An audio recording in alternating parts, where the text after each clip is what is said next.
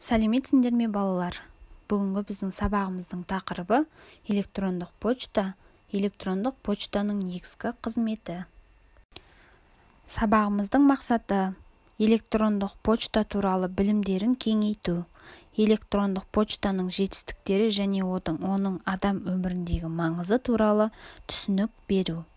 Сабақтың міндеті электрондық почтаның қызметі туралы толық түсіндіру электронды почтамен дұрыс жұмыс жасауды үйрету. Сабақтың жоспары. Электрондық почта туралы жалпы түсінік беру. Электрондық почтаны құрылысымен таныстыру. Электрондық почтаны ашуды үйрену. Электрондық почтаның негізгі қызметі. Бағалау критерийлері. Электрондық почта туралы біледі электронды почтаның қызметі туралы толық түсінеді электрондық почтаны ашуды біледі электрондық почтаны кәдімгідей почтамен салыстыра алады. Электронды пошта интернет желісінде ең атақты қолдану. Электронды пошта ең басында қолдан жасалған пошталық жүйе түрінде болды. Сауда түрі мысалы ibm компаниясы мен профессионал офис систем. Бірінші тек қана мейнфреймдар мен шағын ием үшін өңделді. Бірақ жергілікті желілердің пайда болуы электронды поштаның сауда өнімінің дамуына әкелді.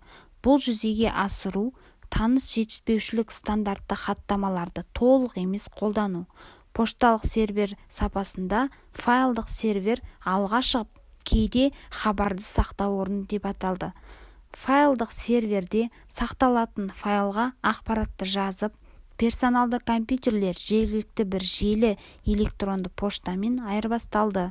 Соңғысы өз кезегімен әртүрлі операциондық жүйемен файлдарды біріктіру қолдану қамтамасыз етеді. Мысалы microsoft lan manager және новел нетуар алғашқы пошта жәшігі 16 ғасырда флоренцияда пайда болды.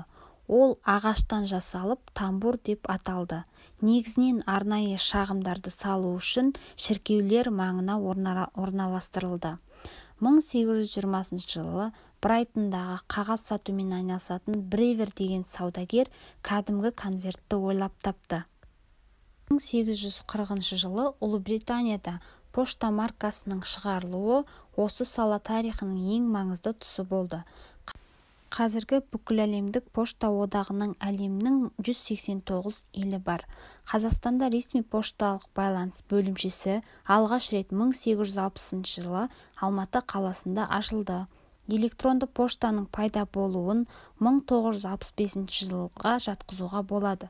Осы жылы массачусетс технологиялық институтының қызметкері ноэль моррис және тован блек операциялық жүйесіне арналған мейл бағдарламасын жазды. Ал бұл бағдарлама ibm 7090-7094 компьютеріне орнатылды. 1971 жылы bbn компаниясының қызметкері рэй томлинсон тарату желісі арқылы хат жіберу мүмкіндігіне қол жеткізді. 1972 жылы рэй томлинсон пошталық бағдарламасын жаңартып интернетке дейінгі арпанет желісіне сай жасады. 1975 жылы джон витталь mcg бағдарламасын жасап шығарды. Ол келген хатқа жауап беру келіп түскен хаттарды қайта жіберу сұрыптау мүмкіндігін іске асырды. Электрондық пошта интернет арқылы электрондық хабарларды жіберу және алу қызметтерін көрсететін технология. Басқа да осындай жүйелерден айырмашылығы кейінірек жіберу мүмкіндігі және тәуелсіз пошта серверлері арасында хабар алмасудың өте дамығандығы. Электрондық поштаны пайдалану үшін интернетте осы қызметті ұстанатын және жүзеге асыратын компаниялардың сайтына тіркелу керек. Мұндай компаниялар пошта провайдерлері деп аталады.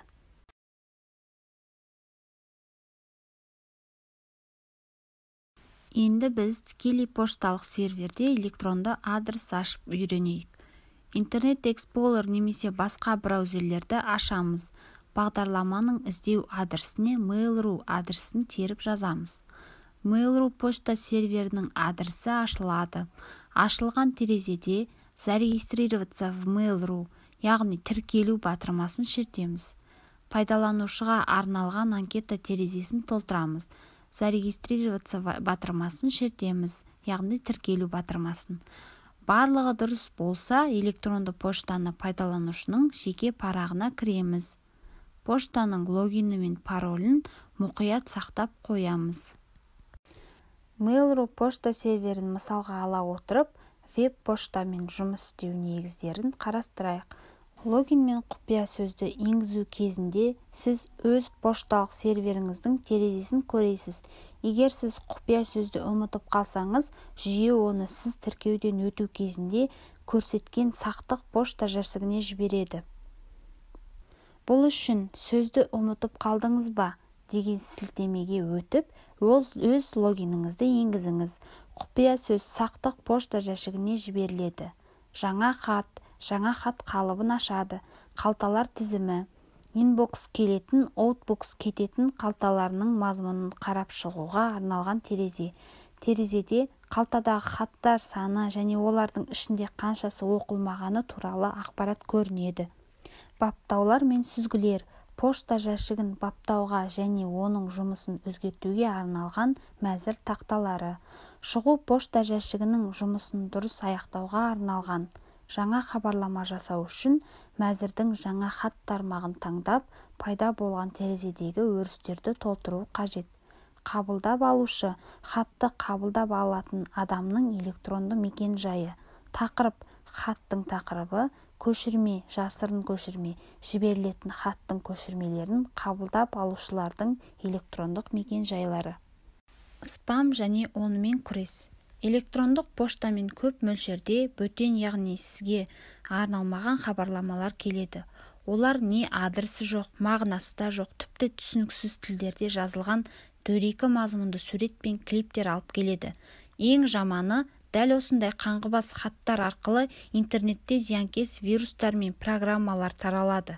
Мұндай шақырусыз келетін күтілмеген бетпақ хаттарды спам деп те атайды. Спаммен күресу үшін түрлі әдістер ойлап табылған. Хаттарды спамға фильтрлеу яғни сүзгілеу. Спам хатты және оны тарату көздерін дәл анықтау спам тарату көздерін жауып тастау. Ескеретін жағдай. Өзіңізге арнайы келмеген бөтен жазуы бар бөтен тілде белгісіз біреулерден келген хабарламаларды ашып көрмеңіз бірден жойып тастаңыз. Электрондық поштаның қарапайым пошта қызметінен айырмашылығы. Бірінші электрондық пошта арқылы тасымалданатын мәліметтердің жылдамдығы минут пен сағат бойынша өлшенеді. Кез келген құжаттың хабарын немесе мәтінін бір уақытта бірнеше адресқа жіберуге болады. Кез келген мәліметтерді қолданушы оқығанға дейін сақтауға болады. Мәліметтерді жөнелту тәулік бойы немесе алдын ала белгіленген уақыт бойынша іске асады. Электрондық пошта бойынша қабылданған мәліметтерді дискте сақтауға оны өңдеуге және қажет мөлшерде принтерден басып шығаруға болады. Электронды поштаның ең үлкен қызмет провайдерлері яғни қызмет жеткізушілері yahoo mcn gmail. Сергіту сәті. Олай болса қазір біз сөз жұмбақтарымызды шешейік. Бірінші сөз жұмбағымыз. Төрт бұрышты әйнек тұнып тұрған әлек. Екінші ұзын тұра жалқау бек тұрмай ылғи жатады. Қозғала қалса артынан ешбір белгі қалмайды. Үшінші бұта қырында мың бір инесі компьютер жаны мекені. Төртінші тетігін бассаң алаңсыз жазады қалам қағазсыз. Бесінші батырмасын басасың қажетті файлдың ашасың. Алтыншы жоқ өзінде баста қаста мойында ұзындығы жазулы тұр бойында.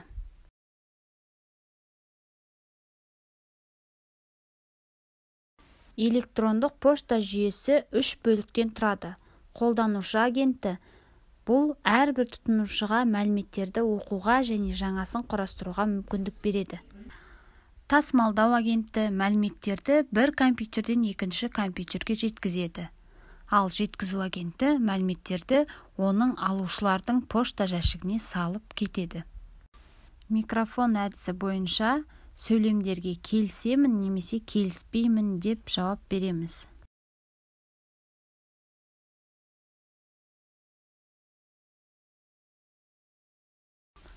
Адасқан әріптер. Бұл кезеңде информатикаға қатысты сөздер берілген. Осы адасқан әріптер арқылы дұрыс сөз құрастырамыз. Қорыта айтқанда электрондық почта жер шарының кез келген нүктесіне салынған хатты бірнеше минут ішінде жеткізетін өте қолайлы әрі жедел байланыс құралы. Электрондық пошта жұмысы кәдімгідей тұрмыстағы поштаға ұқсас болғандықтан оның жұмыс істеу принциптерін меңгеру тұтынушылар үшін аса көп қиындық. Туғыза қоймайды. Оның негізгі айырмашылығы физикалық заттар яғни хат бандероль посылкалар емес ақпараттық мәліметтер бейнелер жөнелтіледі. Электронды поштаны планетаның бүкіл аймағында бар пошталық қызметті баламасы деп қарастыруға болмайды. Ол хабарларды файлдарды ақпараттарды кез келген машинадан басқа бір машинаға жіберуге мүмкіндік береді. Білдім білемін білгім келеді кестесі бойынша маған өз ойларыңызды электрондық поштаға жазып кері байланыс жасауларыңызды сұраймын.